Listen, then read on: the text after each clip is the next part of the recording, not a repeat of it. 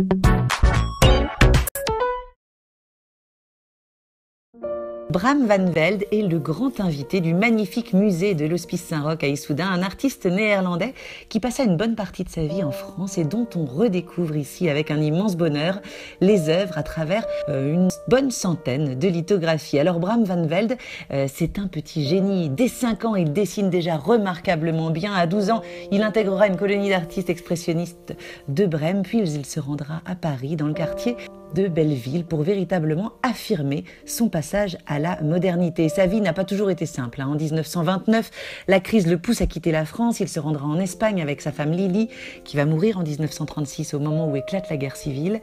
La période de la guerre et de l'après-guerre est très difficile pour l'artiste confronté à des échecs commerciaux répétitifs. Et puis, il perdra sa seconde épouse, Marthe, accidentellement à Paris.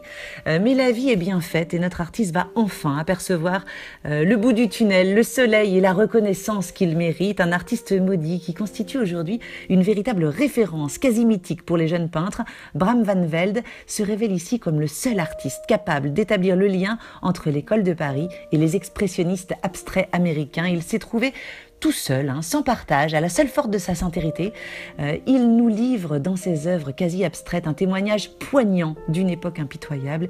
Il n'opte pas pour un cubisme formel à la Picasso, ni pour l'abstraction lyrique, ni même pour l'art informel. Il réinvente la peinture à sa manière, les formes étant remplacées par les couleurs. Contrairement à son contemporain Picasso, justement, eh bien Bram van Velde produit très peu, une dizaine de toiles à peine par an. Il laisse s'exprimer son pinceau dans des gestes amples, sans volume, à la limite entre peinture abstraite et peinture figurative, une merveilleuse redécouverte dans une exposition qui en plus est totalement gratuite.